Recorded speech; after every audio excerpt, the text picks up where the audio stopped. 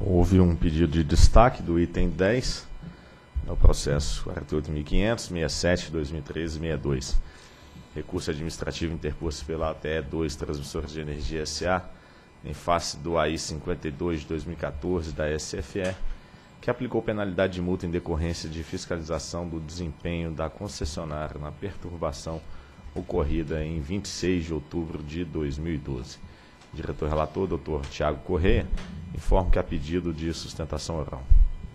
A ação fiscalizadora ocorreu no dia 3 de dezembro de 2012 e teve como objetivo verificar o desempenho da concessionária ATE 2 Transmissora de Energia SA na perturbação do dia 12 de outubro de 2012, que ocorreu a 0 horas e 14 minutos e teve como origem o bem integrante à concessão da Taesa, localizado na subestação Colinas, e que acarretou a separação da região Norte, Nordeste e Sudeste Centro-Oeste e o desligamento de todas as cargas da região Nordeste e de cerca de 80% da região Norte, interrompendo um total de 13.945 megawatts de carga no sistema interligado mais ou menos 9.500 né, no Nordeste e os outros 4.000 e pouquinho na região Norte.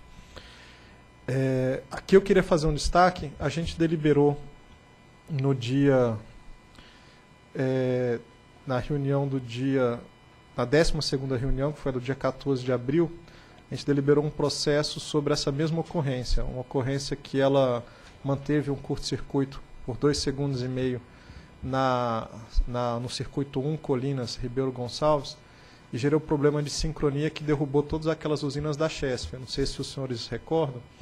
Foi um processo sancionatório em que a multa original da Chesf foi de 8 milhões e que nós é, decidimos por unanimidade em reduzir a multa para 3 milhões 757 é, 1.695 reais em decorrência da ausência de responsabilidade pelo evento a responsabilidade do evento era, portanto, da Taesa. O enquadramento foi no mesmo artigo, a multa do grupo 3. Mas no caso da Chesf, ela foi por problema de manutenção e de, de retorno, né? E no caso da Taesa, a gente enquadrou num inciso diferente por descumprimento do Prodiste. Mas é, eu só queria destacar que é aquele mesmo evento que a gente deliberou ainda em abril. Foram registradas três constatações e uma não conformidade com o Santos Relatório de Fiscalização, parte integrante do termo de notificação número 21 de 2013 da SFE, que foi emitido em 5 de fevereiro de 2013.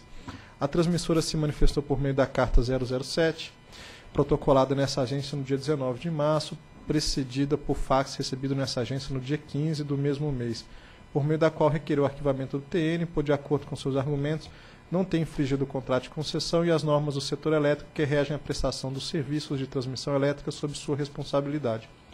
Cumpre registrar que a partir de junho de 2013, de acordo com a resolução autorizativa número 4154, a transmissora Aliança de Energia SA, Taesa, assumiu a concessão das transmissoras até 2, transmissora de energia SA, e até 3, transmissora de energia SA. Deve-se atentar para considerações quanto à tempestividade da manifestação, de acordo com os autos do processo, o aviso de recebimento a, dos Correios atesta o dia 8 de fevereiro de 2013 como data de recebimento do TN. O recebimento do AR pela transmissora antecedeu o carnaval daquele ano, de forma que o prazo da recorrente para fins de manifestações se encerraria na data do dia 28 de fevereiro de 2013. Porém, a manifestação realizada por meio da Carta 007 foi protocolada nessa agência no dia 19 precedida por um fax do dia 15 do mesmo mês, com a concordância, 19 de março, com a concordância da SFE, inicialmente após tratativas verbais, desde que fossem formalizadas no corpo do próprio documento. Em função dos argumentos apresentados à manifestação da SFE, optou por considerar-se então tempestivo é, a manifestação. Em 4 de julho de 2014, por não concordar que as alegações apresentadas pela notificada fossem suficientes para descaracterizar o descumprimento da cláusula 4 do contrato de concessão de transmissão número 11, de 15 de março de 2005, especificamente quanto à não observação dos itens 5.2a, b, d e e do submódulo 11.7 dos procedimentos de rede, a SFE manteve a não conformidade em nenhum e lavou o auto de infração A, AI 0, é, número 52 de 2014, por meio do qual aplicou a concessionária penalidade de multa do Grupo 3, no valor de R$ 119.821,70. Em 16 de julho de 2014, a TE2 recebeu a notificação do AIN Epígrafe, contra o, contra o qual apresentou recurso administrativo tempestivamente, via fax, em 28 de julho de 2014. Por sua vez, a correspondência TAESA 345 foi protocolada nessa agência no dia 31 de julho de 2014. Em 27 de fevereiro de 2015, a SF concluiu a análise do pedido de reconsideração, mantendo em sua integralidade a penalidade de multa, no valor de pouco mais de 119 mil reais, que representa 0,0083% da, do valor de um pouco mais de 1 bilhão e 400 milhões, que se refere ao faturamento anual do período de junho de 2013 a maio de 2014, disponível no relatório balancete mensal padronizado da transmissora Aliança de Energia Elétrica Taesa, que incorporou a ATE 2 transmissora de energia. Faça a manutenção da decisão inicial, a SFE encaminhou o processo para distribuição em sessão de sorteio público ordinário em 16 de março e foi sorteado o relator do processo. É o relatório. A sustentação oral será feita pelo Dr. Luciano de Araújo Ferraz, representante da Taesa. Senhores diretores, aqui compareço representando a Taesa SA, no, nos autos fielmente relatados pelo ilustre relator. Vou me ater, na verdade, exclusivamente ao ponto que diz respeito à utilização da base de cálculo do faturamento anual da Taesa para a incidência da multa que foi aplicada nesses autos a esta transmissora. É verdade que essa questão acerca da interpretação do, da regulamentação que foi feita pela ANEL, do artigo 3 inciso 10, da Lei 9.427, 96, ainda será objeto de alguns debates, tenho eu certeza, seja em audiências públicas, seja mesmo uh, aqui neste plenário, acerca da correta interpretação dos normativos que regem a matéria, especialmente o que diz que a incidência do percentual de multa dar-se-á em cima sobre a RAP anual da transmissora. E por que se diz isso?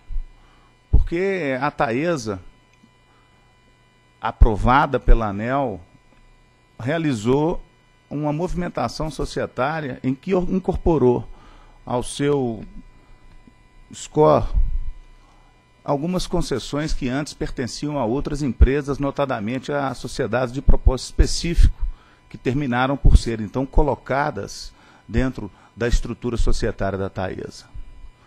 E entende-se que a individualização das concessões é fundamental para a correta interpretação das normas que a ANEL tem a respeito do tema. Maximiliano, talvez o maior manualista de interpretação do direito brasileiro, já dizia que a interpretação há de ser feita seguindo quatro processos interpretativos e não apenas um. Um deles, o primeiro, o gramatical, que com cessa vênia, penso eu, está a ser feito aqui no âmbito dessa agência. O segundo dele, o histórico. O terceiro, interpretação sistemática. E o quarto, a interpretação finalística ou teleológica das normas jurídicas. E por que digo isso? Porque numa primeira leitura das normas atinentes ao caso, seria muito simples enquadrar o faturamento da empresa levando-se em consideração a atuação presente. Mas quando se situa o âmbito da infração que foi detectada pela fiscalização da ANEL, é necessário um pouco mais de zelo, data vênia, na interpretação que se faz do tema. Por que isso? Porque a ocorrência aconteceu no dia 26 de 10 de 2012. Época em que a AT 2 era a pessoa jurídica responsável pela concessão Colinas, Ribeirão Grande. E mais, a fiscalização, a fundamentação da aplicação da penalidade se deu por, por conta de falta de participação em estudos e não execução da proteção C, C1 da linha de transmissão de 500 kV de Colinas. Referente ao período de 2009 a maio de 2010. Ocorre, como dito aqui pelo ilustre relator, que A Taesa só incorporou a AT no dia 28 de 6 de 13, quando houve a aprovação da resolução 4154 pela ANEL. É dizer, se situar historicamente, se situar temporalmente a penalidade ocorrida e mais ainda o período em que a penalidade foi apurada, não era a Taesa a responsável por aquela transmissão à época, senão a AT 2, que tem que, que tinha personalidade jurídica própria e que teria um faturamento diferente daquele que a Taesa tem hoje, depois, obviamente, da incorporação de diversas concessões ao seu é, à sua estrutura. Portanto, a, a diferença na incidência da penalidade é a seguinte: se se leva em consideração a receita da Taesa, hoje, depois da incorporação, a penalidade é de 119.821,70, percentual de 0,0083%. Mas se se leva em consideração aquilo que a, o faturamento da AT2 chega-se ao valor de 13.990,27. A diferença é significativa. Utilizando-se a interpretação sistemática, pelo menos três observações, no mínimo contraditórias, haverão de ser feitas. Primeira delas, a ANEL autorizou a incorporação por parte da Taesa dessas, dessas concessões sem ressalvar aspectos relativos à aplicação dessas penalidades, levando em consideração o faturamento integral. Segunda delas, a própria resolução 4154, que aprova a operação, determina que haja, por intermédio de cada concessão incorporada pela Taesa, a segregação contábil dos valores. E numa interpretação, portanto, sistemática, de todo o arcabouço normativo da ANEL, chegaremos à conclusão que se, para uma finalidade, que é a de fiscalização do montante do recebimento, leva-se em consideração a segregação contábil, por que não se haveria de levar essa segregação também para a imputação de penalidades, notadamente neste caso, em que o fato gerador da penalidade é anterior à aprovação da incorporação pela própria ANEL. No voto, na decisão que ora se recorre, os antecedentes que foram levados em consideração para a aplicação da penalidade foram os antecedentes da AT 2. Basta ler a parte final do voto da decisão para se chegar a esta conclusão, é dizer, leva-se em consideração para fins de, apuração de antecedentes o, o histórico da AT 2, mas na hora de se aplicar a penalidade, utiliza-se da receita da Taesa. Então, numa interpretação que envolva todos esses aspectos, há de se considerar que está, está diante de uma situação sui generis que não só discute em tese a questão da aplicação da penalidade de utilização da base de cálculo, que ainda será objeto de vários embates, tenho certeza, mas, sobretudo, porque leva em consideração a especificidade do caso. Tipicamente, pode se fazer, relativamente aos demais processos, uma distinção, um distinguish, aplicando-se com as peculiaridades que o caso tem as normas legais desta agência. A se prevalecer esse raciocínio, nós teríamos violação de alguns princípios. Por exemplo, em termos de licitação, do princípio da vinculação ao instrumento convocatório. Porque a lei de licitações, no artigo 4010, no artigo 55, 8666, ela exige que haja o estabelecimento das penalidades a que uma concessão está sujeita. Ora, como é que há uma variabilidade nessa concessão por conta de uma sucessão societária que foi aprovada pela própria agência a se aplicar uma penalidade num caso, em valores absolutos e não em percentuais, e outra penalidade no outro? Violar-se-ia, nesse caso, o princípio da isonomia. É o mesmo que dizer que o indivíduo que faz a violação a uma regra de trânsito, utilizando um palio, deve tomar uma multa diferente daquele que viola a mesma regra dirigindo um carro importado. Porque se leva em consideração não o aspecto objetivo da conduta, senão o aspecto subjetivo da conduta. Mais ainda, um aspecto subjetivo produzido com a aprovação da própria agência. O princípio da isonomia clama, nesse caso, a aplicabilidade.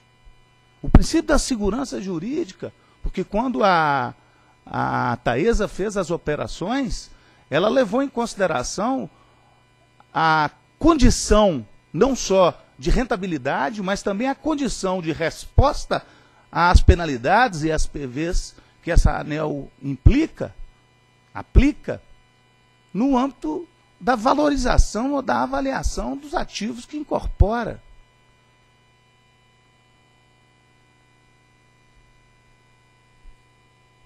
De modo que, a se levar todas essas questões aliadas à finalidade da própria penalização que a agência tem, porque as penalidades que essa agência aplica, assim como no âmbito do direito penal, elas não têm exclusivamente uma função de penalização ou de arrecadação. Elas têm uma função de penalização, mas também uma, fun uma função reguladora para que haja o desenvolvimento da correta prestação do serviço. Se a Taesa possui hoje 19 concessões, 28 concessões, se uma delas falha, na prestação de serviço, as demais não. Não se há de ultrapassar da pessoa que efetivamente, neste caso específico, efetivamente produziu a penalidade ou a falta. Não se há de ultrapassar dela a aplicação da penalidade de modo a, a, a atingir toda a entidade, toda a empresa, que se formou como tal posteriormente à prática dos fatos ou do fato gerador da conduta. E ainda. O senhor pode concluir, por favor? Concluindo. Se o prazo da resolução ANEL tivesse sido cumprido, e a, e a pena aplicada dentro do prazo de 45 dias que se dá para a finalização do processo, a Taesa sequer estaria concluída naquele caso. Ou seja, neste caso, a agência demorou a aplicar a penalidade e, por conta da sucessão societária, ela, é, a Taesa está a tomar uma penalidade maior. É por conta disso que se pede, primeiro, a, a conversão da penalidade em advertência, nos termos do artigo 8 da Resolução Normativa ANEL, e, em segundo lugar, a utilização da receita da AT 2 como base de cálculo para a incidência da multa. Muito obrigado. Procuradoria.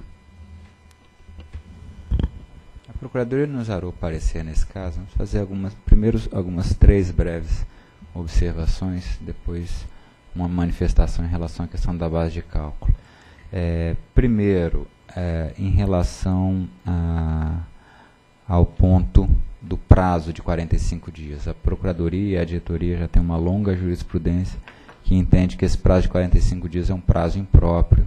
Então não há nenhum vício no processo pelo fato do auto de infração não ser lavrado nesse prazo. Segundo, a decisão de transferência de outorga é integralmente das, das partes envolvidas e aquele que incorpora ou que adquire ah, o controle societário de uma concessionária sabe que vai se subrogar em todas as obrigações é, decorrentes desse desse processo e as obrigações da empresa que é incorporada. Né?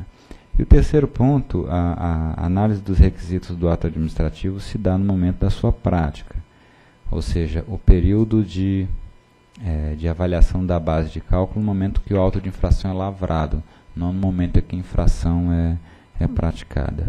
Mas passando esses pontos, fazer um, um, um esclarecimento. O que a lei e o contrato de concessão falam é em limite por infração. A lei fala que o limite por infração é de 2%, o contrato de concessão fala que o limite por infração é de 2%. Nenhum dos dois falam de base de cálculo. A, a questão da base de cálculo é remetida para a regulação da ANEL e é a resolução 63 que trata de, de base de cálculo.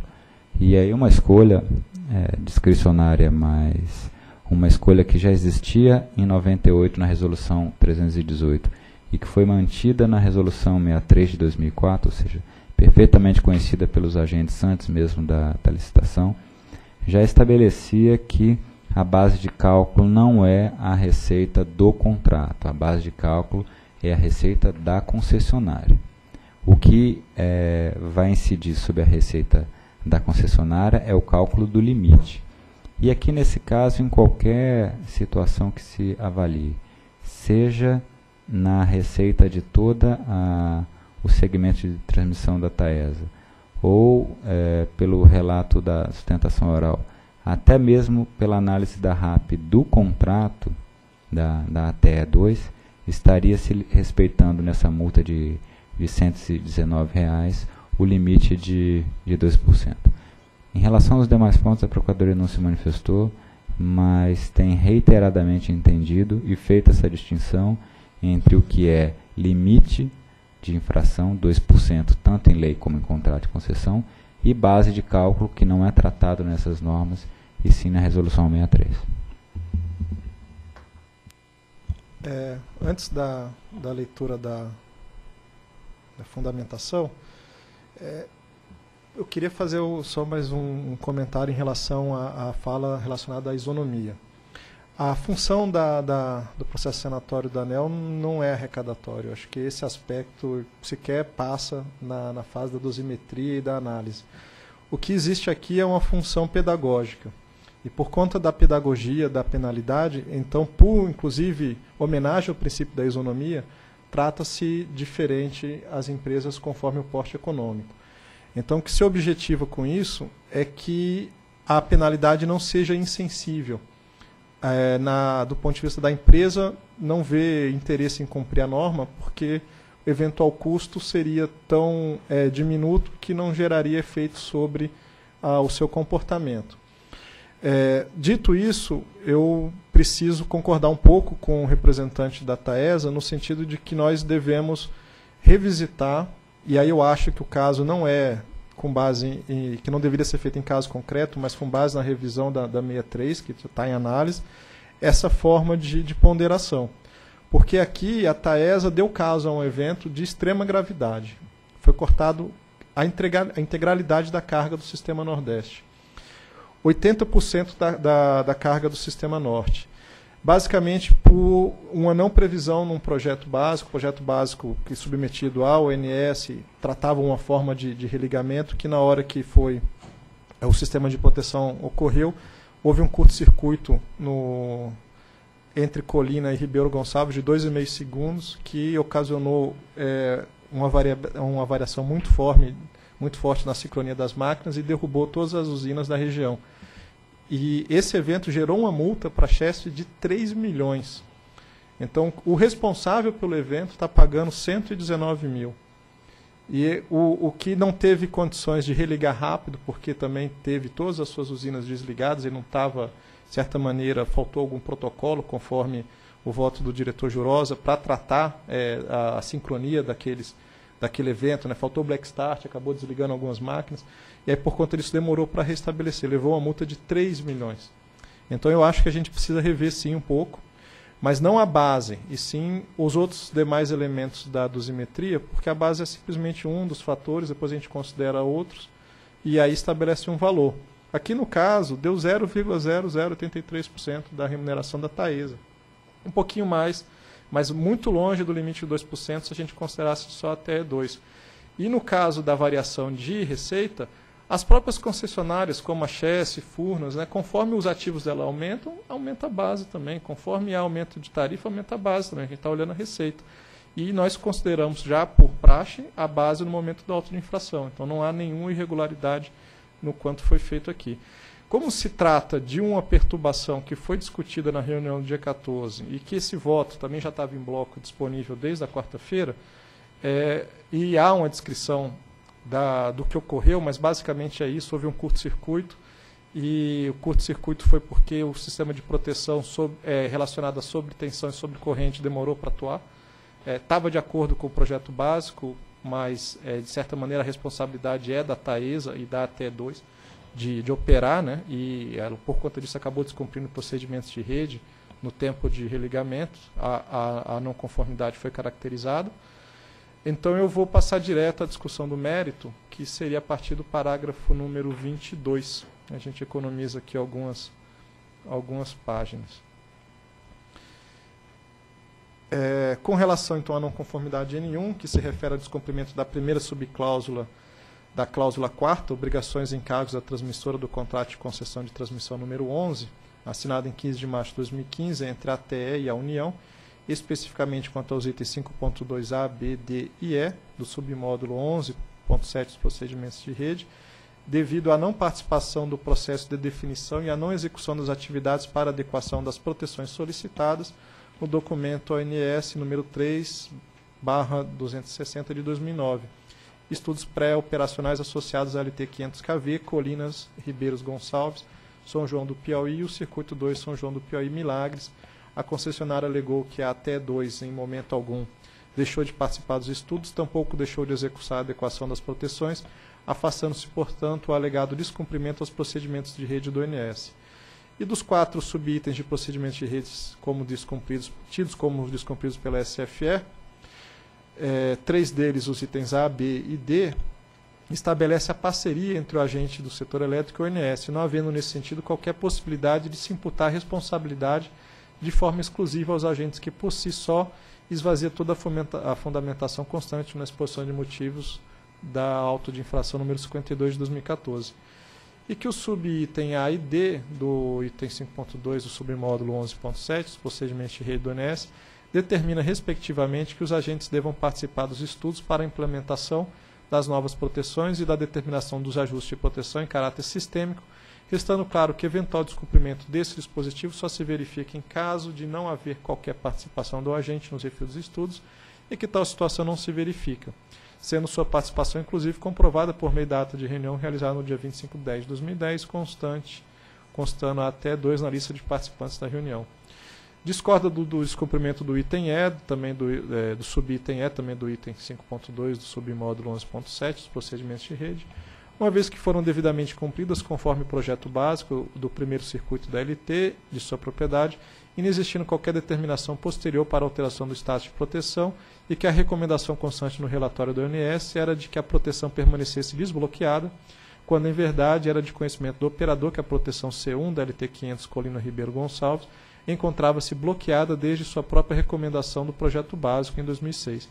Sustenta que tratou-se exclusivamente de equívoco e inconsistência de informações por parte do ONS, que teria deixado de recomendar o ajuste de proteção de forma clara e explícita no relatório emitido, e mais ainda deixando passar novamente a oportunidade de solicitar diretamente à transmissora a adequação de proteção, inclusive na reunião realizada em 25 de 2 de 2010, na qual comprovadamente a TE2 esteve presente. Ora, no presente item do recurso administrativo, a concessionária apenas reiterou argumentos já apresentados em sua manifestação ao termo de notificação, que no mérito já foram analisados na exposição de motivos para a lavratura do auto de infração e que não traz nenhum fato novo que possa alterar a decisão já proferida pela SFE pela própria participação nas reuniões que definiram as proteções quanto às entradas da LT 500 Colina, Ribeiro Gonçalves, São João do Piauí, Circuito 2 e LT São João do Piauí Milagres, conforme afirma em sua manifestação, a concessionária deveria ter pleno conhecimento do status das configurações, elucidando durante o processo as, as incertezas que agora tenta usar para se eximir da responsabilidade pela não adequação da proteção conforme determinado pelo ONS. Então aqui não, a, a presença numa das reuniões não vale de nada se essa presença não for ativa e se o representante não tiver os elementos suficientes para colaborar com o estudo. Então não basta assinar uma lista de presença, é preciso é, efetivamente participar.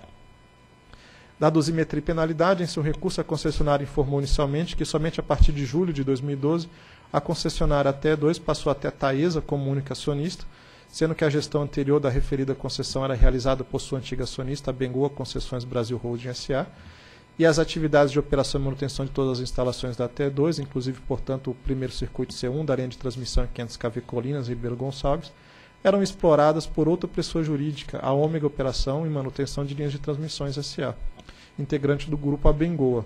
Sem entrar no mérito da filosofia de trabalho antiga, da antiga acionista, a concessionária continuou sua exposição, afirmando que a descontinuidade cronológica das ações administrativas sob responsabilidade da SFE ANEL, que não proferiu decisão acerca da instauração do processo administrativo no prazo definido no caput do artigo 20 da Resolução 63, alterou a base de mensuração do valor da penalidade aplicada à empresa, que seria reduzida uma vez que o tratamento base seria somente até 2 e não a da Taesa.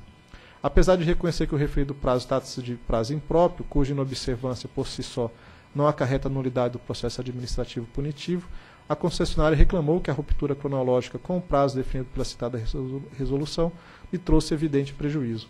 Concluiu dessa forma que o prejuízo verificado em função do demasiado lapso temporal transcorrido entre a análise da manifestação do TN e a lavradura do, do auto de infração seria suficiente para a nulidade do respectivo AI, ou ao menos a revisão da base de cálculo considerada. A SFA inicialmente confirma o posicionamento apresentado pela concessionária de que a súmula anel número 12, aprovada pela portaria 1399, definiu que os prazos previstos no referido ato normativo são impróprios da administração pública e, portanto, a sua inobservância pela ANEL não acarreta nulidade. A concessionária questionou a utilização do seu faturamento total como base do cálculo das penalidades, alegando que deveria ser considerada apenas a parte do faturamento que expressa rápido o contrato de concessão envolvido na fiscalização. A ANEL possui já o entendimento consolidado de que a base de cálculo da pena deve ser o faturamento dos 12 meses anteriores à lavratura do auto de infração, considerando inclusive eventual receita oferida pela concessionária em razão da comercialização de energia. O que deve ser avaliado e obedecido na fixação da multa é que seus valores não podem ultrapassar o limite de 2% no valor das receitas de atividade de transmissão, em concordância com o parecer número 17 de 2011 da Procuradoria da ANEL. No caso em discussão, e no questionamento da concessionária de que o extenso prazo que levou a SF à emissão do auto de infração tenha sido prejudicial, é notório que a penalidade de multa, apesar de ter por base o cálculo de faturamento total, não ultrapassou o limite supracitado, da forma como previsto no contrato de concessão, motivo pelo qual não há elementos para que seus valores sejam reduzidos. A concessionária questionou ainda a gravidade, partindo da argumentação de não ter cometido a não conformidade apontada, a exposição de motivos que não estaria considerando a existência de falhas de outros agentes de transmissão, a abrangência, que não estaria levando em consideração a análise percentual específica de uma situação considerando o universo total, os danos e a gravidade, que teriam a mesma motivação, que deveriam ter o mesmo percentual, e sanções administrativas irrecorríveis dos últimos quatro anos, pois não teria sanção da mesma natureza anterior. Esclarece a SFE que a dosimetria utilizada está aderente à legislação em vigor e ainda foi calculada em atendimento aos artigos 15 e 16 da Resolução Normativa 63, levando-se em consideração a abrangência e a gravidade da infração, os danos dela resultantes para o serviço e para os usuários, além da existência de uma sanção anterior. Foram identificados e, portanto, não encontrados no cálculo qualquer vantagem que teriam sido oferidas pelo foram in, in, não identificadas, né, pelo infrator nem a ocorrência de reincidência.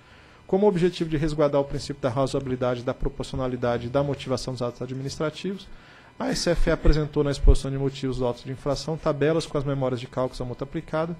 Além das tabelas, também foi apresentada na exposição de motivo todas as considerações relativas a cada condicionante, conforme mencionados os artigos 15 e 16, observando os percentuais máximos permitidos no inciso 10 do artigo 3 da Lei 9427 e levando-se em consideração a discricionariedade administrativa. Nas motivações para o cálculo de gravidade e são importantes, respectivamente caracterizados do ato não conforme e as suas consequências.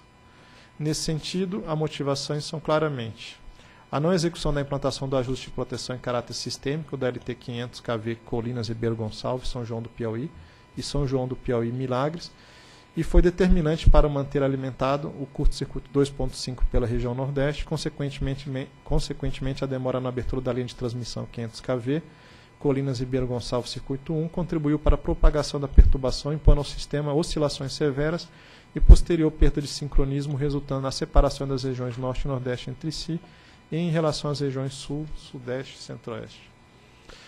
Ao contrário do que foi alegado pela TES, os recursos não se tratam da mesma motivação e, portanto, não lhe foram atribuídos o mesmo percentual. Quanto aos questionamentos que a exposição de motivos não estariam considerando a existência de falhas de outros agentes de transmissão e a abrangência não estaria levando em consideração a análise percentual específica em que a situação considerando o universo, ressalta-se que está clara na exposição de motivos que a abrangência de 5% vincula-se com a contribuição da não conformidade da transmissora no conjunto de falhas que originaram e tornaram críticas à ocorrência. Parte delas em decorrência daquelas questões relacionadas à CHESF. Quanto ao índice 10, de 10%, atribuído ao número de sanções administrativas e recorríveis nos últimos quatro anos, esclareceu o SFE que ao pleitear que seu índice fosse definido como zero, devido a não ter havido penalidades por ocorrência da mesma natureza, a concessionária confundiu seu conceito como um de reincidência, ambos previstos na Resolução Normativa 63, respectivamente dos artigos 15 e 16.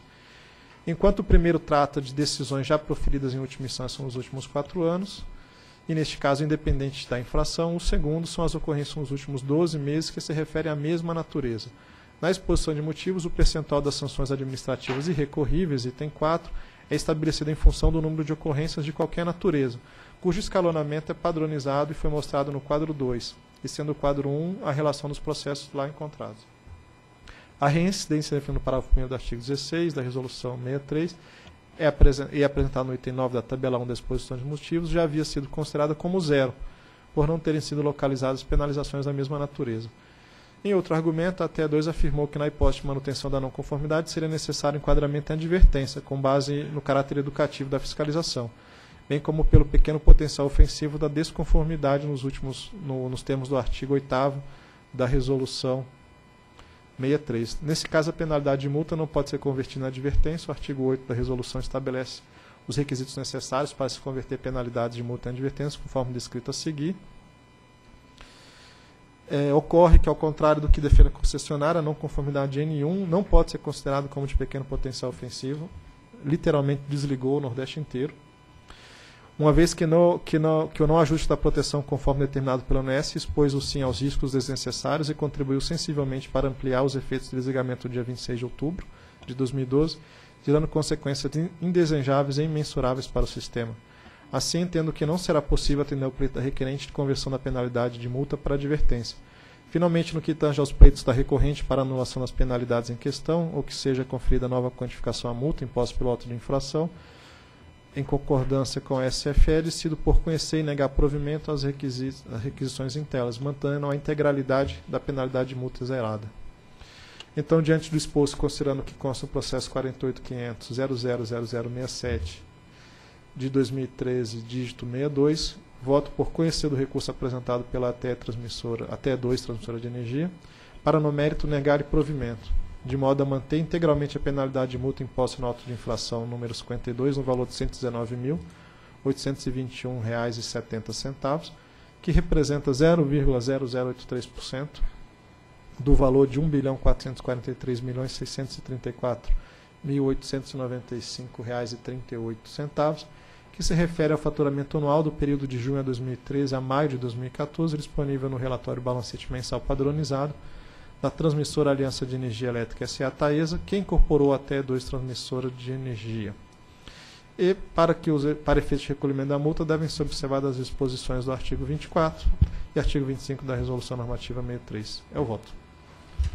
Em discussão. Eu fiquei com uma dúvida aqui, eh, Tiago. É, talvez até a Procuradoria também possa me, me ajudar. No item 25, você fala que ela assumiu é, é, a, a TE2, a Thaisa, é, em junho de, de, de 2012. Mas no, no item 4, na, acho que talvez esteja errado, a resolução autorizativa é de 2013, que, que, que ela assumiu em junho de 13. E, e, eu fiquei numa outra dúvida, porque, na verdade, o, o TN ele foi, ele foi aplicado em fevereiro de 13. Então, fora da vigência, vamos supor, fora da, do período em que a Thais havia, vamos supor, comprado a empresa. É, eu tenho uma preocupação no seguinte, o fato gerador foi lá atrás, né? É, TN, o termo notificação foi quando a Thais ainda não era, não tinha assumido, porque tem, tem, uma, tem uma, uma diferença no caso de uma distribuidora, porque não muda, com, conforme o, o acionista assume, ele não muda o faturamento da empresa. Nesse caso, muda, porque ela, teria um, ela tinha um faturamento lá atrás, quando assumiu, ela utilizou-se o faturamento da, da nova empresa. Eu fiquei nessa dúvida, se, pô, o fato gerador não foi na época dela. Tudo bem, é, o fato é grave, é, eu não estou discutindo o fato e nem o, nem o representante da empresa está discutindo o fato. Eu vi que ele, ele se ateve apenas ao, ao período. E eu fiquei nessa dúvida, né? porque eu acho que, embora que ele colocou que É, nós estamos aqui com a resolução autorizativa em, em junho de 13, mas eu vi que tem cartas é, emitidas pela própria Taesa em março de, de, de 13 também. Eu não sei se, é, pelo que depende aqui do voto, é, aparentemente ela já estava é, assumindo e não, de fato, ainda não de direito. Aí eu fico na preocupação se realmente nós não teríamos que utilizar a receita lá da TE2 mesmo, né? porque o fato gerador foi lá atrás.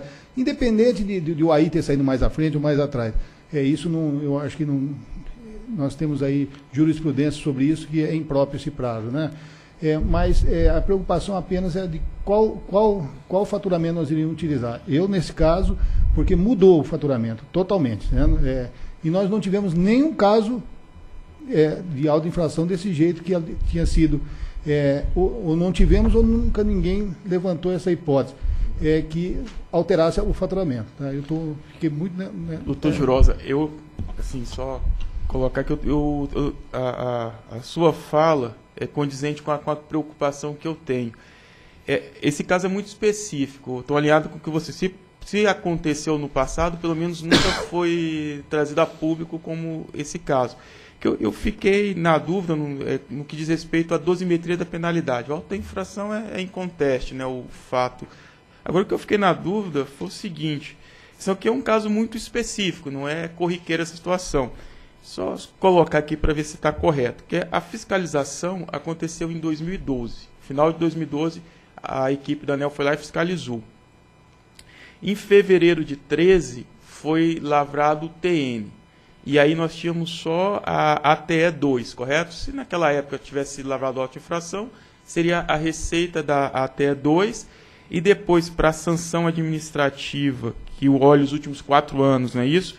E reincidência, que olha os últimos dois, 12 meses, a, não é isso, doutor Tiago? Ele colocou muito claro no voto a, a SFE tem uma fórmula para aplicar ponderações. Então, tem os fatores cujos ótimos. Aí, aqui no caso 2012, olharia os últimos quatro anos da ATE e os últimos 12 meses da ATE. Aí, isso, aí o TN foi lavrado em fevereiro. Em junho, a ATE foi incorporada pela Taesa. Aí o auto de infração é, é lavrado em 2014. Quando o auto de infração é lavrado, aqui na, na condução do processo, usou-se, digamos assim, o que é praxe na ANEL. Eu peguei a receita da, da empresa. E quando eu olhei a empresa em 2014, ela já tinha sido incorporada pela Taesa. Então eu peguei a receita da Taesa total, né, do grupo. É assim que a gente procede. Eu também faço coro às preocupações que o Tiago colocou e que nós já estamos reavaliando isso na, meia, na 63, né, na, na nova 63. Em uma sessão mais no início do ano, a gente também discutiu aqui fortemente esses conceitos. E também nós olhamos as sanções administrativas dos últimos quatro anos do Grupo Taesa como um todo e da reincidência dos últimos 12 meses da Taesa como um todo. É que é uma, é uma dúvida conceitual mesmo. Não, é, é, é, isso mesmo? É, é apropriada essa condução? É, deixa eu fazer o primeiro esclarecimento. Parece que o erro material está no parágrafo 25. A resolução autorizativa é de 2013, eu acabei de baixar ela aqui. É, de uma maneira é, agora relacionado ao mérito, o que ocorre é que existe um dinamismo muito grande em receitas relacionadas com transmissão, diferente do caso de distribuição. Então, independentemente desse ser um grupo em que foi entrou uma hold, a hold abengoa, né? se a gente fosse aplicar a multa, provavelmente não seria até dois. Teria que olhar a hold abengoa. Então já tem um argumento aí. Aí trocou hold abengoa, virou holding Taesa.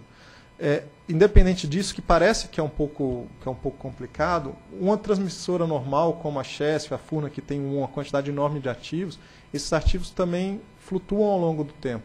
Então, dependendo do. Aqui fica muito evidente porque há uma, trans, uma transferência de, de titularidade.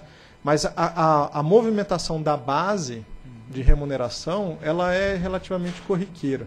Se isso causa estranheza, de fato, causa estranheza.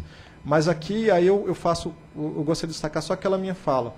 O objetivo aqui é porque você tem que alcançar o acionista do ponto de vista pedagógico. É por isso que você tem que subir até ele. Então, se a gente aplicasse uma multa num valor que fosse só da TE 2, provavelmente essa multa ela, ela falharia no, nos critérios de proporcionalidade porque não geraria um efeito. Eu, na verdade, olhando esse alto, e, e eu, eu, eu fui ler o do Jurosa, A sensação que eu tinha era de que teria que voltar para gravar. Pra É, essa Pra- que é assim, a dúvida, Thiago. Não o- seja que é que só é- até dois, mas mesmo se que olha a Taesa mudasse- ou a Bengol, o grupo Isso, mas anterior. mesmo que fosse a Bengol ou que fosse a TEC, aí já é uma discussão. Se fosse para voltar, eu acho que teria que ser na, no, num lado assim, tudo bem, vamos reduzir a base, mas vamos olhar de novo os efeitos disso, né, de uma maneira geral. Aí gravaria nos demais, no- nos demais elementos. Viu, Thiago? Então, o valor da multa provavelmente ficaria. Quer dizer, se eu fosse alterar a base, eu teria que fazer uma revisão geral e ver, olha, para alguém que não deu causa a esse evento, a gente aplicou a multa de quase 3 eh, milhões e 800 mil. E para ele a multa está em 200 mil. Tudo bem, a gente não olhou a base da Bengol, olhou a base da Taesa. Eu não sei qual é a relação da base da Taesa, mas os elementos totais de proporcionalidade da multa, quando a gente olha, ah, tudo bem, tem esse fato é interessante, mas considerando o que foi colocado, não me parece uma multa desproporcional. Parece uma multa que ela, ela tem um sinal suficiente pedagógico, ela é 0,083% do, do grupo controlador atual, quer dizer, não é uma multa que gera desequilíbrio, gera um sinal adequado, então, nesse sentido, eu não vejo necessidade de, de rever a base. Se eu fosse rever como relator, eu reveria a- o resto da dosimetria como um todo para dar um valor semelhante, que eu acho que é um valor que é até pequeno. a gente está falando de menos de... Senhor eu senhor acho- presidente, pela. Não, Esclarecimento eu- de fato. É, eu, eu acho, eu acho que o valor, eu acho até irrisório pelo, pelo, pelo, que, pelo, que, pelo que aconteceu. Não é, não, é o, não é o valor que eu estou É preocupado. o conceito. É o né? conceito lá atrás. Eu, eu acho também não teria que ser é, o, a receita da TE 2, se fosse o caso. Sim, são da Bengoa lá atrás. É do grupo do mesmo jeito, né? É, do- da mesma forma que é o caso da Chess, não foi da usina, e sim, e, e sim da, de, toda, de toda a Chess. É, a minha preocupação é só apenas porque quando ela foi fiscalizada e o fato foi antes de ela ser incorporada. É, é essa a minha dúvida, por isso que eu, eu fiz a pergunta à Procuradoria. Se, se é isso mesmo, ou se o que nós estamos fazendo é, nesse momento está correto.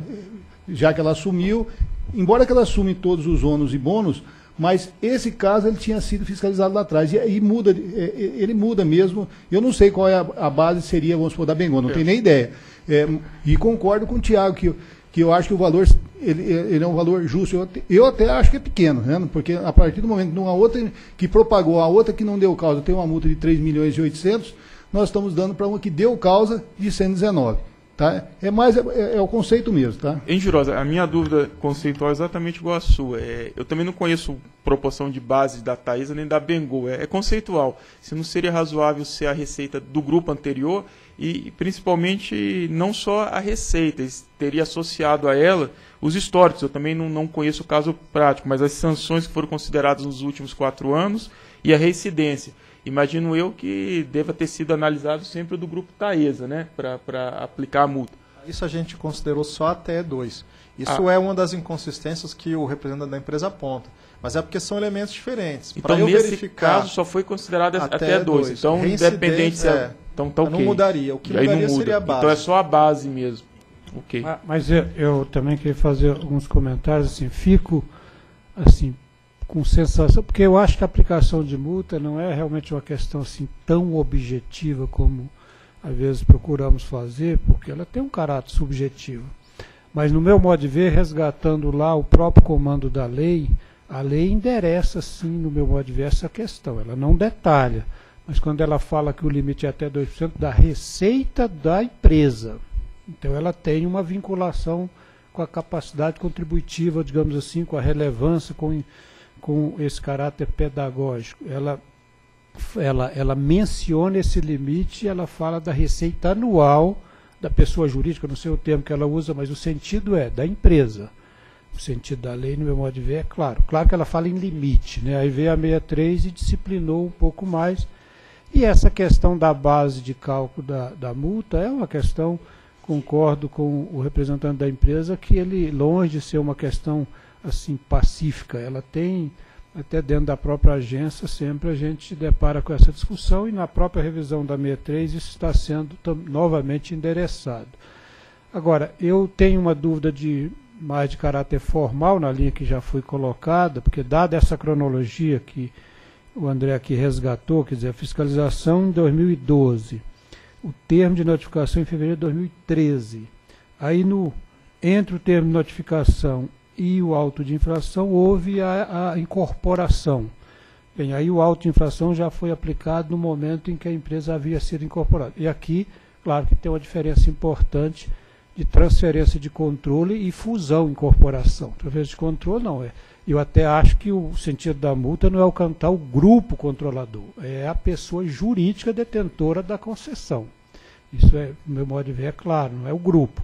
Agora, quem detinha anteriormente a concessão dessa AT2, eu não sei se é uma SPE que só tem essa concessão, então certamente ela não alcançaria no momento anterior nem no momento atual o grupo controlador, é a, é a pessoa jurídica detentora da concessão.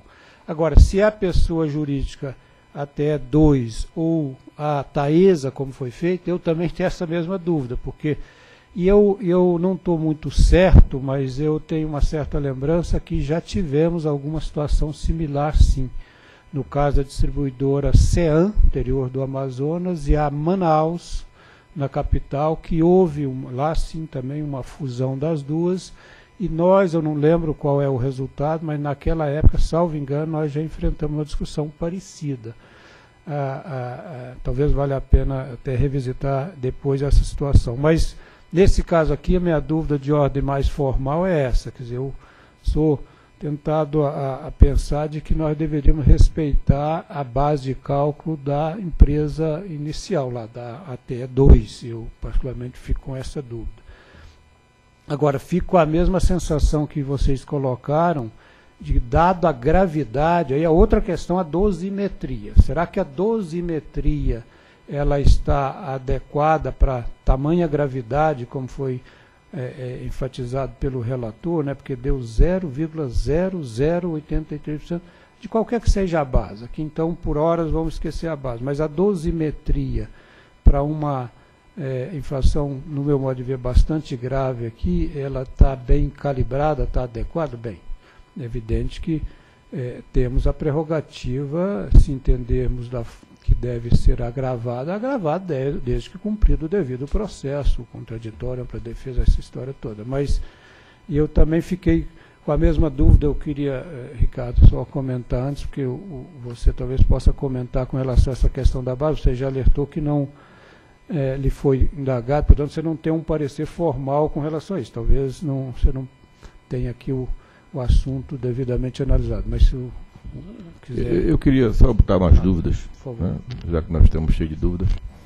É, quando, quando houve a, a troca do controle né, societário, a absorção, já existia o termo notificação. Portanto, o potencial de penalidade, a empresa que adquiriu já conhecia. Né? Então, isso significa dizer que esse ônus e esse bônus, ela tomou conhecimento. Portanto, sabia que por aí vinha uma penalidade. É, por quê? Porque num determinado momento, com a argumentação que foi feita pelo agente, eu, de certa forma, entendi, achei razoável. Depois, com a argumentação do, do Dr. Tiago, diretor relator, e aí na sua visão de uma dose de subjetividade, é, nós estamos realmente penalizando por 2 milhões e, e 800, 3 milhões, né, uma empresa que não deu causa, e uma outra, nós estamos discutindo entre 119 e 13 mil, mil reais, né? Então, portanto, eu estou convencido né, de que a, a, decisão adotada pelo relator é, é a mais adequada no, para esse momento. Quer dizer, na hora em que existia a notificação, na hora que foi feita a compra do controle nacional, o, o, o agente já conhecia. Né? Quem absorveu, no caso específico aí atrás, já conhecia que existia uma penalidade, consequentemente, essa penalidade, na base que já foi calculada aí pela ANEL em, em situações anteriores, e também me convenceu a questão é, de quando você tem numa determinada empresa, e aí ele citou algumas empresas, Chess e Cell, a base ela vai alterando na medida que você vai incorporando mais ativos. Portanto, é, é possível, evidentemente, no meio dessas todas as dúvidas, é, convencer um raciocínio coerente com o que foi adotado pelo diretor relator. Eu, só um comentário nesse ponto. Você fala, eu não tenho dúvida que quando há uma movimentação societária parecida com essa, no próprio ato da ANEL normalmente consta de que realmente a nova empresa sucede a anterior em todas as suas responsabilidades. Portanto, é, não é novidade para ela que existia um processo vamos dizer assim, punitivo em curso. Talvez o que possa ser alegado como novidade é a base de cálculo. E, aliás, é o único ponto que eu acho que, quer dizer, é a base de cálculo seria daquela receita da empresa que está sendo incorporada, né, dado toda a situação que nós já comentamos, ou essa base de cálculo seria alterada, ou seja, é, assim fazendo uma, uma, uma comparação mais singela, quer dizer, se fosse duas SPS de pequeno porte, elas sendo fundidas as duas, e você, vamos dizer que fosse do mesmo tamanho, a base anterior seria um valor X, depois da incorporação a, a base seria 2X. Mas ao invés de ser incorporado por essa segunda, fosse incorporado por uma empresa tipo Furnas, né, que tem uma, uma, uma, uma empresa que tem uma receita muito maior. Dizer, seria razoável a base de remuneração evoluir dessa forma? Essa que eu acho que é, assim, sob o ponto de vista de base de remuneração, é, ainda, é, ainda tenho dúvida com relação a isso é, num caso muito particular, como foi colocado, muito específico. Tá? Isso aqui não é corriqueiro, isso aqui é uma situação absolutamente atípica. Né? Mas, enfim, o Ricardo, não sei se pode nos ajudar aí, já que temos é. tanta dúvida, só não pode colocar não, mais dúvida. Né? Eu não tenho aqui uma, uma posição final. Eu até recebi o, os representantes na reunião na Procuradoria, e, mas não fomos consultados para um parecer. É, mas assim, é, a gente, claro, pode aprofundar a, a, discussão, mas o, o que parece, até do que a gente enfrenta em vários processos, talvez não é na base de cálculo que a gente vai ajustar o que, que é o mais justo, mais razoável, mais, mais proporcional. Acho que a dosimetria é o mecanismo que a gente tem para chegar a, a esse ponto. Então, numa hipótese que a gente alterasse, por exemplo, a base de cálculo, esse percentual ele não atenderia ao mínimo critério de proporcionalidade, que resultaria numa multa de, de 13 mil reais e a, e a dosimetria teria que ser fei, é, refeita.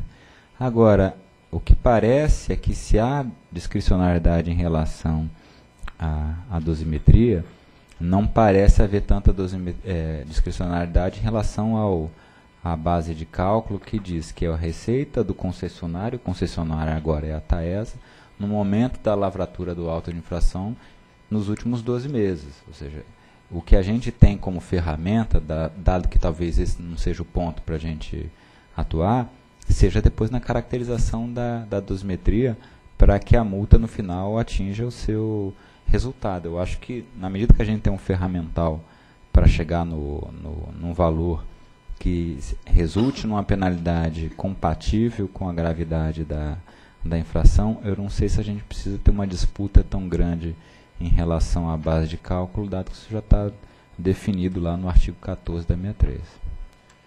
Moisés, você queria fazer alguma observação? Obrigado, diretor. É, na verdade, as últimas falas falaram parte do que eu ia colocar aqui, mas só três lembranças. Primeiro, o Romeu, doutor Romeu lembrou muito bem, teve o caso da, da, lá no Amazonas, né, em que naquela ocasião já foi decidido que é, é, as, as, sanções irrecorríveis eram de cada empresa originária, mas a, ba a base de cálculo da multa era da, da, da, nova empresa. Isso lá no caso Amazonas. A gente, na verdade, para esse caso não pediu parecer da Procuradoria, mas pediu para um seguinte, que é a mesma coisa que é esta, a estação, né? Transmissora estação que é incorporada pela Eletronorte. A gente pediu ter um parecer da Procuradoria, é, que o Ricardo talvez não esteja lembrando que ele solta muito parecer, foi depois desse caso, mas é, o parecer exatamente nessa mesma linha de que deve ser a base de cálculo é a base da empresa é, nova e, e e, e, e, outros elementos como sanções recorríveis sim seriam da empresa de origem. Então, é, no mesmo sentido que a gente que a diretoria decidiu lá atrás, no caso da Amazônia Energia, é, veio parecer e é o que a gente está usando aqui. E, e, eu só queria reforçar uma coisa que o doutor Tiago falou, que quando a gente vai fazer o cálculo das simetrias, leva em consideração o contexto que está que tá aquele empreendimento. Né? Então, se uma empresa tem uma subestação, e comete uma falha, a abrangência é uma. Se ela tem uma se ela tem 100 subestações e comete uma falha em uma, a abrangência é outra. Então, quando a gente fez o cálculo, a gente levou em consideração que estava se tratando da Taesa e não só de uma concessão como a TE. Portanto, a multa, se fosse calculada com uma base de cálculo da TE, não seria 13 mil. A gente refaria a base de cálculo inteira. Seria algum valor entre 19 e 13, mas 13 não seria. Só quis dar esse esclarecimento. Agora, é, ô, Moisés, aproveitando, naquele caso da Amazônia, já que você citou que foi exatamente, tinha tido uma penalidade também anterior e, a- e a, e a e a auto de infração foi, foi aplicado já depois da, da assunção, é isso? É isso, é isso. Foi, foi aplicado em uma das empresas ah, anteriores e, e, eh, a, a inflação foi para uma delas e, e, eh, só que a inflação foi calculada quando já tava, já tinha se fundido. Eu, Moisés, é, outra, só confirmar o entendimento. Esse outro parecer, então, que vocês demandaram numa situação similar, que já foi, então, emitido pela Procuradoria, ela, ela formalmente coloca naquele parecer essa visão. De A que visão é, que, do, que o doutor Ricardo o Ricardo mencionou que é, é o que importa é a referência do momento que está sendo aplicado a multa. O colocado- auto de infração, né? A Para multa, efeito, no é caso. isso, para efeito do a faturamento considerado na base de cálculo, sim. Eu destaquei que não deu parecer nesse caso, embora tenha recebido o representante da, da empresa, então essa história eu já até já conhecia. Senhor presidente, Eu sinceramente, só, só um segundo. Sinceramente, não pedi parecer, porque, embora seja peculiar, eu volto a- àquele meu preâmbulo original. Eu acho que a gente tem que discutir isso na- no, no âmbito da 63, não do caso concreto, porque a 63 ela é expressa em estabelecendo no seu artigo 14 que a base é o concessionário atual nos últimos 12 meses da lavratura da autofação. Então aqui nós estamos seguindo um texto expresso da, da resolução. Não havia necessidade de interpretação para algo que eu considerei que é cristalino. Agora eu entendo, e eu falei que eu concordo com o representante da empresa, de que é possível melhoras nisso, mas aí com base em audiência pública, em discussão. Porque, por exemplo, a gente teve, teve problema de subestação na Chesf, é, você tem uma subestação autorizada e a base de cálculo é a Chesf inteira. Né? Então, um problema numa subestação lá vai dar uma multa muito maior que essa. Então, de uma maneira geral, a gente não pode cair na armadilha de achar que o que define a multa é a base. A gente precisa trabalhar a base no resto do contexto. E tem que dar instrumentos para que os demais elementos da, da dosimetria possam dar multas que sejam adequadas. O critério de proporcionalidade aqui, a multa não pode ser nem alta nem baixa. Ela tem que ser proporcional. Ela tem que ser proporcional. Isso é um pouco difuso. Você não consegue dizer se proporcional é 119 ou se proporcional é 130. Agora, quando a gente fala de para esse evento 13 mil, claramente está fora do universo da proporcionalidade. Então aí eu repito, se a gente for mudar a base, é uma avaliação completa, integral de todos os itens. Porque não é possível você, para o mesmo evento, dar 13 mil e dar 3 milhões. Quer dizer, 19 mil já é um pouco complicado, mas eu não poderia colocar uma multa de 3 milhões na Taesa que eu não tenho condições de carregar isso. Já a Chess- tem. Então são vários elementos que entram. Não, então, eu- Ah, eu, só queria destacar que eu não pedi parecer jurídico porque para mim é expresso na resolução artigo 14. Tá. Não havia necessidade de perguntar isso. Viu, Tiago? Não, eu, eu não estou discutindo a abrangência, dosimetria. Eu até no começo da minha fala eu falei que a multa eu achei pequena até. Eu achei pequena a multa, até porque num caso paralelo é, que foi, foi muito maior. A minha preocupação não, não é a questão, não é a base. não- eu não estou nem discutindo a base. Eu estou preocupado se é, quando foi aplicado e quando teve, quando teve estava sob a égide de outro, de outro agente se não seria razoável que se usasse eu acho que foi essa a minha dúvida eu, eu, eu acho que se, se for é, realmente é, o entendimento é, mas pelo que parece que a Procuradoria colocou, não é isso o entendimento, eu, acho- eu acho que aí teria que voltar assim e rever todo, todo o cálculo. É, se- seria, seria lógico, a abrangência, tudo, todo, todo, é aquilo que o Moisés colocou, seria bem diferente. Mas, pelo que a Procuradoria colocou e, e o Moisés já, já nos, no- no- nos informou, tem um parecer específico dizendo que é a base, o entendimento jurídico é a base no momento do auto de infração. É isso. Está expresso no artigo 14. Eventualmente a gente pode alterar o 14 para ser no momento da, do TN. Agora, o, o nenhum. Mas 14, hoje- eu estou com ele aberto aqui, eu não estou tendo essa interpretação que está expressa. Aqui, ó, não. sem prejuízo do disposto regulamento específico, contrato de concessão, os valores da multa serão determinados mediante a aplicação do valor de faturamento, fator de faturamento, nos casos de concessionários, aí permissionários autorizados, ou sobre o valor estimado da energia produzida, no caso de autoprodução e produção, independente, correspondente aos últimos 12 meses da lavratura grifo do auto de infração. É, Então é, o mas seguinte, aí- a data é a data do, do auto de infração. Podia ser do TN, mas a data hoje é referência ao da auto de infração. Então podia ser TN, podia ser outra data, sei lá. Mas Não, mas é... eu, eu compartilho da visão, assim, também é uma interpretação. Não é assim tão direta no meu modo de ver, não, porque o que foi colocado, e é fato, quando nós permitimos fazer a, a, a, fusão, a consolidação de várias concessionárias numa mesma várias concessões, desculpa, numa mesma concessionária, inclusive de fato foi exigido que ela mantivesse na contabilidade separado a receita, enfim. É como se fosse uma filial dentro de uma concessionária. Então é claro que é, é, é possível enxergar a receita daquela concessão que tem essa origem de uma concessionária. Então, e, de novo, eu, eu acho que o, o Jurosa eh, explicitou a dúvida, pelo menos a minha também, exatamente na linha do Jurosa. Quer dizer, é uma, uma é uma dúvida de ordem formal. Qual é a base de cálculo? E essa tem que ser mais objetiva mesmo. Qual é a base de cálculo ser utilizada? E a outra, que é um, uma coisa muito mais subjetiva, muito mais abrangente, como apurar o valor da multa. E tem todos esses princípios que têm que ser observados, né, a questão da, da dosimetria, da gravidade, enfim, todas as questões que a gente procurou, inclusive dentro de uma de uma preocupação de diminuir essa essa questão, essa subjetividade, de tornar alguma coisa mais objetiva possível, mas que é por natureza subjetiva, não tem jeito, você tem que levar em consideração tudo isso. Então, é, eu acho assim que essa situação, é claro que a norma não contemplou e talvez não fosse mesmo razoável ela se preocupar com esse aspecto tão específico, né?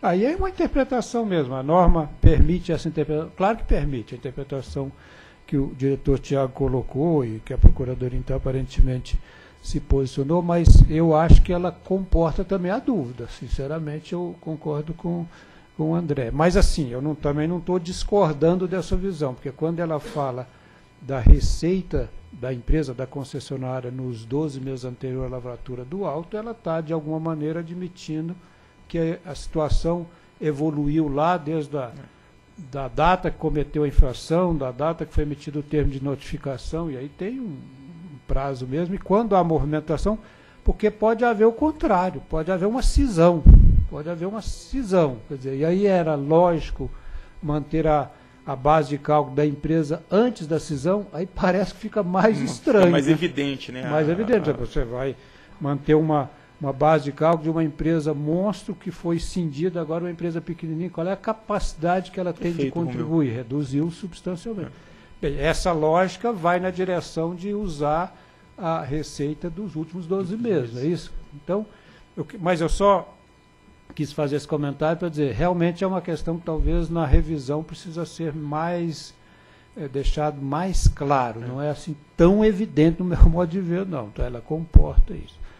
Mas é, o senhor, se quiser fazer só a questão de, de ordem, como o senhor falou, não de discutir o assunto, que aí não é pronto. Não, a questão de ordem é que a pessoa jurídica que estava a atuar antes era a AT 2. Uhum. Se, se contar o prazo que a resolução da ANEL estabelece para que haja a lavratura do auto de infração, que é de 45 dias, quem estaria naquele momento também seria a AT. Ok, está, está Ou seja, posteriormente é que a Taesa foi a incorporadora. Ok, obrigado. Então está entendido que não seria a Bengoa, seria a AT. Isso aí a gente já, já entendeu.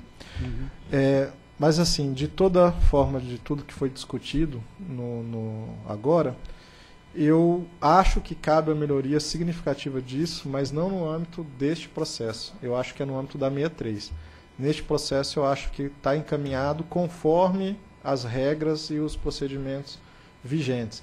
E que o fato deste processo ter tornado evidente essa simetria não quer dizer que ele não ocorre no caso das, das grandes concessionárias públicas que têm investimento.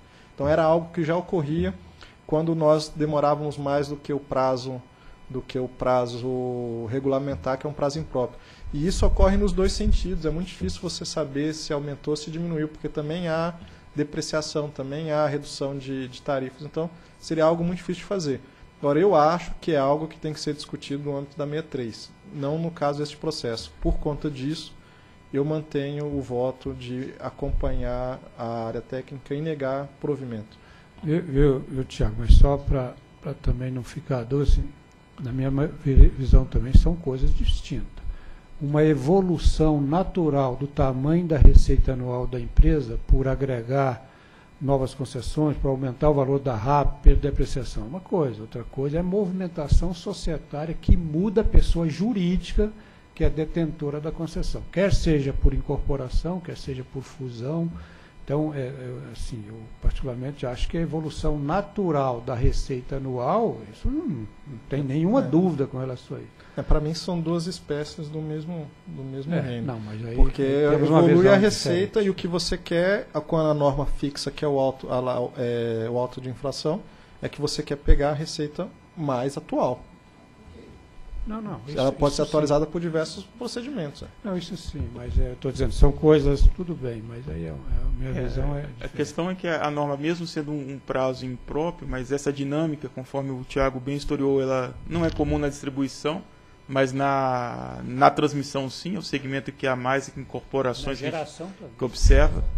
A geração de- pode ser, mas não é, não é com, a, com o volume que acontece na transmissão. Eu acho que na transmissão essa dinâmica é Geração eólica. é bem o mais incidente. muda muito o lado, né? Geração eólica. Mas assim, de para a gente pegar a receita é, aderente ao fato, é por isso que a norma ela atribui de fato ao auto de infração.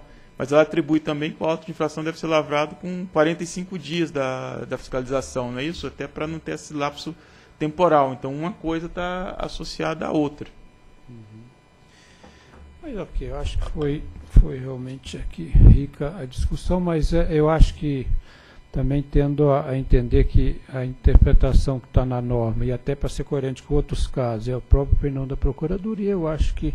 E aí eu, eu não- também não queria deixar a dúvida de que eu também entendo que caso fosse o caso seja é, de rever a base de remuneração, tem que rever a aplicação da, da, da penalidade. É evidente que, como o próprio Moisés comentou, a própria abrangência pega uma referência de uma empresa que só tem uma instalação, é uma. Tem 30 instalações, é outra. Então é evidente que aí seria um. Não é só um trocar a novo base, ca- né? Não é só um trocar a novo base. Não, É, isso aqui tá chama a atenção o fato de um evento desse porte ter uma abrangência de 5%. É. Ele foi de 5% justamente porque foi considerada a Taesa como um todo. né? Ok. Mas em vo- votação. Eu voto com o relator. Também voto com o relator. Também acompanho o relator. Também voto com o relator. Proclamo então que a diretoria decidiu, é, por conhecer do recurso apresentado pela TE2, transmissora de energia SA, TE2, para no mérito negar-lhe provimento, para manter integralmente a penalidade de multa aplicada pelo auto de infração número 52 de 2014 SFE, no valor de 119.821 reais e multa essa que deve ser recolhida nos termos da- do, do regulamento. Próximo item.